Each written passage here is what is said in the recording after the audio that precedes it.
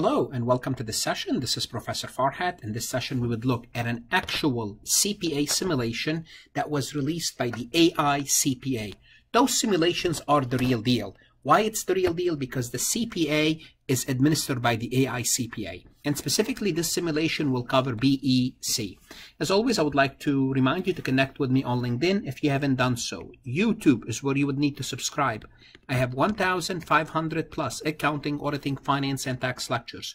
For example, for BEC, I have a whole course of managerial accounting, a whole course in cost accounting, a whole course in finance that applies to BEC, and I have hundreds of CPA questions that I work about BEC. On my website, you will find additional resources such as true, false, multiple choice, PowerPoint slides, notes about the BEC, and 2,000 plus CPA questions. I strongly suggest you visit my website. What I'm going to do next is pull the simulation and we'll go over the simulation together. This way, I want you to build your tolerance and your familiarity with CPA simulation. Okay, let's take a look at this simulation. Once again, the simulations are no more than multiple choice questions in a different format. There's going to be a lot of multiple choice question, more than one, but nevertheless, it's the same topics and the same thing that you learned in the multiple choice. So the first thing you want to do is first read the simulation, read what's given real quick, just to get an idea. Now, without even reading, I can tell you, you'll need to compute the quick ratio, the total debt ratio, the times interest ratio, return on equity. But you, you want to read what, what's, what's required. So Oil Inc., a privately owned oil field services company, borrowed from TH Bank in year five. The controller has asked you to calculate key matrices to determine compliance with loan covenants. And by the way, if you work in a CPA firm and you're preparing a review, most of the time, this the sole purpose of the review is to compute those matrices and to determine if, whether they are not the loan is in compliance. And when I was in practice, I did this a lot, maybe for a lot mean four to five companies on a quarterly basis. So it's a lot throughout the year. The company generated 2,050,000 in cash flow from operating in year five. Use the information included in the exhibit above. So we have some exhibits. Uh, the table below for the year ended December 31st, year five. Cal calculate the required financial matrix matrices in the, identified in column A which I already told you we have to we have to do that, and enter the associate respond rounded to two decimal spaces in column B. The information in the analytics deficient exhibit must be used for any financial ratio. So simply put, they're telling us in the exhibit, they're giving us the ratios. In column C, select the option list provided to indicate whether each of the financial matrices calculated in column B is in, is in compliance with the applicable provisions of the debt covenant and the loan and, and, in the debt covenant and the loan covenant. Ex, ex, the, we can look at the exhibit. So basically, column C is basically yes or no. Are they in compliance or are they not in compliance? So the first thing look is the look at the financial statement position, aka the balance sheet. This is the balance sheet. That's fine. We're going to need this information. They're giving us a statement of operation, which is the income statement. We're going to need this. Remember, we're, we're working with year five. Uh, you uh, guess what? They are giving you the analytical analytics definitions. They're giving you the ratios, you don't have to memorize anything for this problem. Now, it doesn't mean you don't have to memorize them for the multiple choice, but happen for this problem, they're giving you the ratio. So you, you need to know, you need to understand the ratio. So although they're given here, I'm not going to say that don't memorize them. I'm going to say understand them and uh, be familiar with them, at least the most common ones. Okay, but if you understand them, they're, they're easy. And this is the bank loan covenant, the agreement and this is part of it. Okay, we have to read this carefully because this is, you know, what we need to do. TH Bank, the lender, is pleased to enter into a loan agreement with Oil, com the company, to provide financing for investment project. Clear enough. The terms of this loan agreement are documented separately in the term sheets. The purpose for this letter is to disclose the loan covenants pursuant to the loan agreement with TH Bank. Until the commitment have expired or, or been terminated and the loan principal, interest, and all fees payable has been paid in full, the company covenant and and agrees as to itself and its subsidiaries with the lender that. So here are the terms of the agreement.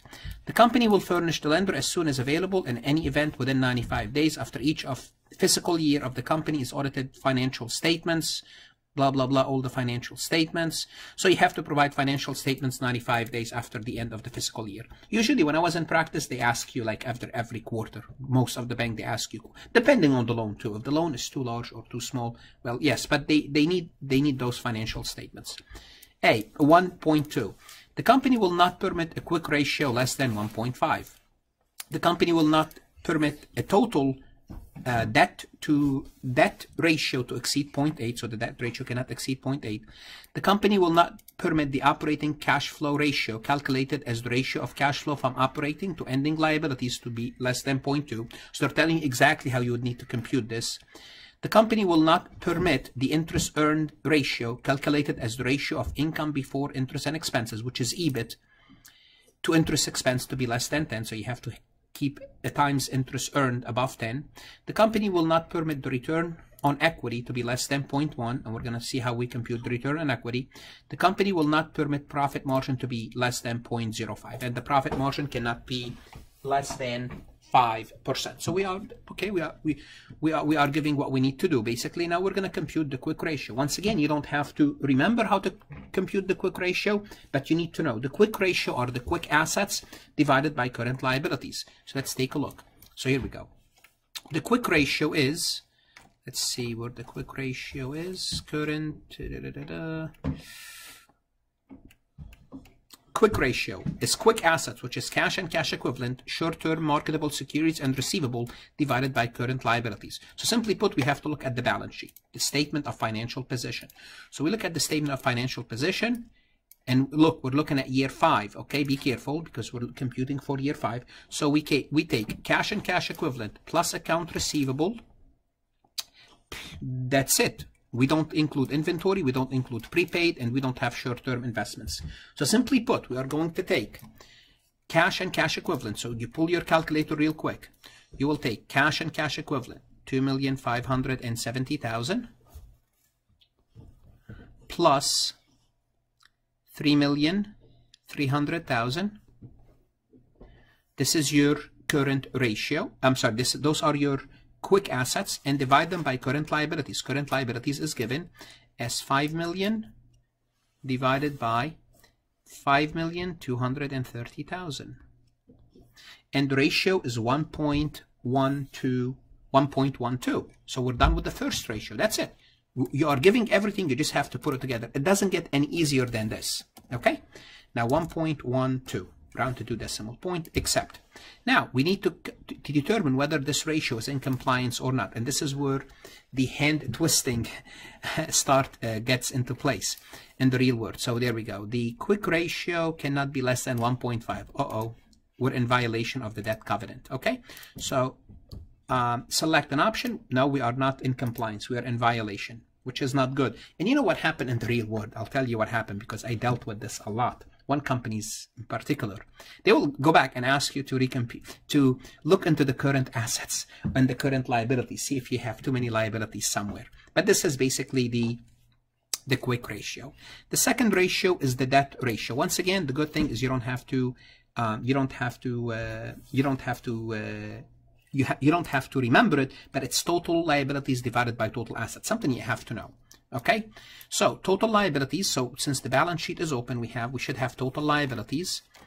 Total liabilities. Remember total liabilities. So total liabilities 25 million 810 divided by total asset 45 million 930. I think we should we should be in good shape for this, but you don't you know in, in good shape it means we are in compliance. But let's they want the number exactly. So clear your tape, and you're gonna take liabilities 25 million 810 I don't need the three zeros. Divided by total asset 45 million 930 oops. Divide by 45 million 930 and that's going to give us 0.49 did I do this right? Um, total liabilities 25 million divided by total asset? Up 25 not 22 okay let's I made a mistake. You have to be careful. 25 million 810 divided by 45 million 930 0.5619 0.56 0.56 so 0.56 is the answer are we in compliance? Well, I think it's 0.8. So it has to be less than 0.8. I remember this. So we are in compliance. We say yes for this. Now we need to compute the times interest earned. Well, this ratio is EBIT earning before interest and taxes. So we don't need the financial position divided by interest expense. So let's go back to see, see if we see if EBIT is giving. So let's look at the statement of operation. We are giving again. You're working with year five, so you are giving uh, interest expense, you are giving taxes, you are giving net income. So simply put, EBIT is not given clearly. Uh, actually, let's see. We are giving income before taxes. Oh, right here. So this, this income here, income from operation, is income before interest, expense, and before taxes. So this is EBIT, right there. EBIT is, EBIT, um, uh, sorry, give me one second, please. My son just remove his, his, uh, his headphone. Uh, sorry about that. Just my son took his headsets out. Now it's back back on. Okay, so this is EBIT, earning before interest. You're not going to see this on the CPA exam for sure, right? so this is EBIT, earnings before interest and taxes, divided by interest expense, divided by interest expense. And let's do this. Get the calculator and let's see what we have. And I think we should be in good shape. It's, it's going to be more than 10 because it's more than 10. So 4,320 divided by 260. If you're going to not use the zeros, not use them for both. So we're 16.6153, 16.62. So the answer will be 16.16.62 and we're in good shape. We are in good shape. Yes, we are in compliance because it has to be more than 10. Okay. Now we need to compute return on equity, return on equity. Every time you hear the word return, it's net income. Every time you hear the word on, it means divide. And every time you hear the word equity, da, it's equity. But you have to be very careful when you compute return on equity. Why? Because return on equity, the numerator is an income statement account. The denominator is a balance sheet account. What does that mean? It means when you when you divide an income statement account by the balance sheet account, you have to be careful because the income statement is a number that represents the whole year. So notice the income statement is 2,730,000, but this number is generated throughout the whole year. So it's for a period of time. When you divide an income statement number by a balance sheet number, the balance sheet number is only a point in time. So let's keep this open. Let's get the uh, statement of financial position here. Let's look at total equity. So total equity is 20 million for year 5, 20 million 120, 17 million 739, 700, 17 million 390,000 for year 2. What we have to do, because it's a balance sheet account, we have to find the average. Simply put, we have to find the average. So first, let's find the average. Clear your tape, find the average. 20 million, I'm just gonna I'm not gonna use the three zeros, 20 million 120 plus 17,390. That's 37,510. Divide that by 2. And that's your average. You want to write it down in case, you know, 18,755. Now I'm going to take net income, which is 2,730. 2,730. Again, I'm not using the last three zeros. Divided by 18,755, which is the average equity. And that's going to give me 14.55 you gotta round it 40 uh, it's gonna be 15 percent I don't remember what the requirement for this but it's 0.1 0.1 0.15 I need to know what's the I don't I don't I didn't memorize that number so let's go back to the uh, loan covenant here and return on equity is there a requirement for that yes cannot be less than point less cannot be less than 0.1 we're in good shape. So we have we return on equity is 0.15 so we are in compliance here as well. Operating cash flow. Remember what they said? They said operating cash flow is cash flow from operation divided by current liabilities. And i believe cash flow from operating was given to us right here. I believe it was giving someplace clearly not here. Uh, da -da -da oh right here Cash flow from operate from operation is two million and fifty thousand, and we have current liabilities. It means you know how much do we have cash flow cash flow from operating that we could cover current liabilities. Current liabilities are current liabilities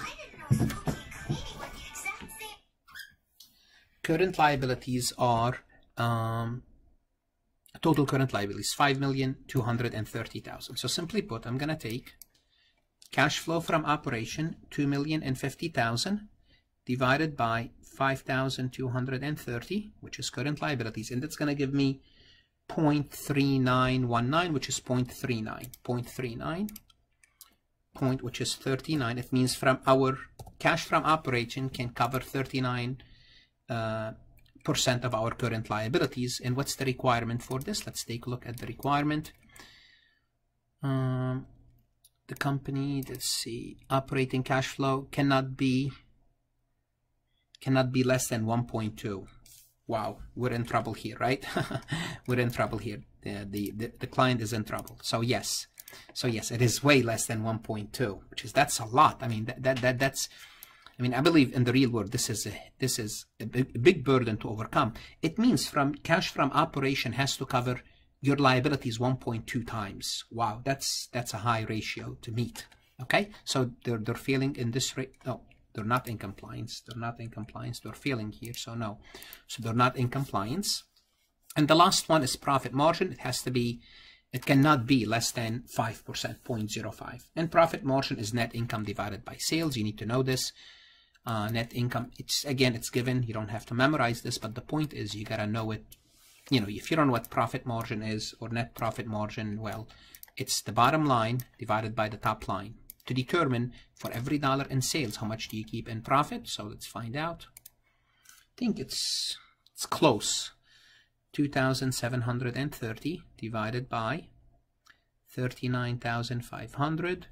That's 0.69113 almost 0.07, 0.07 so it's 7%. So the profit margin is 0.07, whoops, 0.07. Are we in compliance? Yes, we are, because it's more than 0.5. So simply put, as you can see, this this uh, th this BEC simulation I consider to a great degree easy straightforward, easy simulation. Although at the beginning it might look intimidating. It might look you have so many things to look at. But it boils down to ratios. If you know your ratios, you don't even have to know them. They, they, they even they gave you. Just you need to know how to put them together and stay calm and don't panic. And that's all what's to it.